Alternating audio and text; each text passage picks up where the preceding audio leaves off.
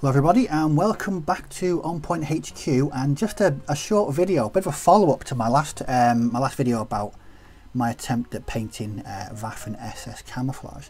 And a couple of people had left comments saying you know, it'd be good to see the finished the finished figure and to be fair I should have done this in that video as well so apologies for that it was it was something that was, that was playing on my mind that the, there should have been really a completed a completed um, finished product at the end of that but I've just finished this, so I thought I'd do a very quick video, get it out tonight, just to show you what it looks like. It's not been based yet because um, I'm thinking of, I like the way it has turned out, and I'm thinking of doing an entire platoon painted like this.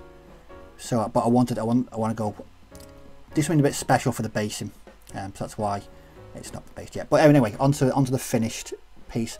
So there we have it. That is the finished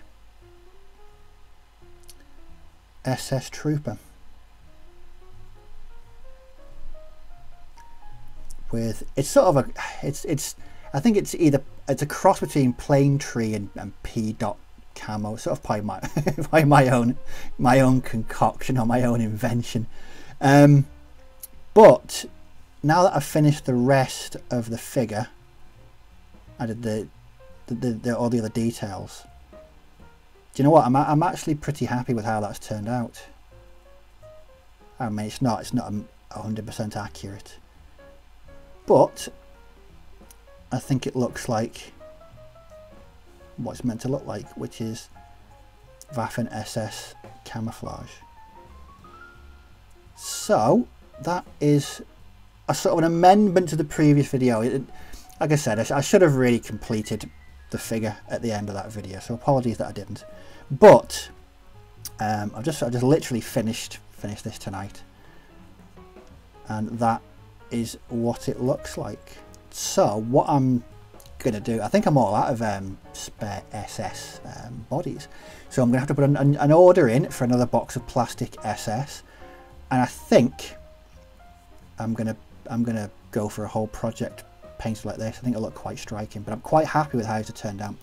Um, what I'm planning to do as well possibly for the next video is how I attempt to paint sort of um, autumn leaf. I think it's autumn leaf or oak leaf uh, Waffen SS camouflage. It's kind of the brown version, as I like, to, I like to describe it.